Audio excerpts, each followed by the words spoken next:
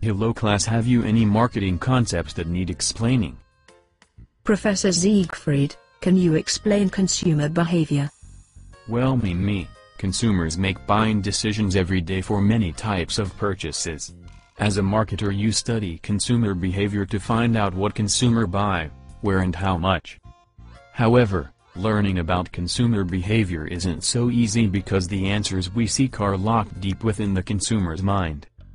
Professor, can you explain further? What we find Mimi, is that consumers don't know what influences their purchases. 95% of thoughts and emotions that drive our purchases occur in the unconscious mind. That is, without our awareness. The consumer's decision-making is said to occur in a black box, that is, in a way that can be observed by marketers.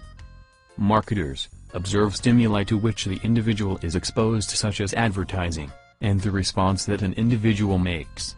For example, to seek extra information, or to buy a product. The central question for marketers is how consumers will respond to various marketing actions a company might take. Thanks Professor, for this brief introduction to consumer behavior.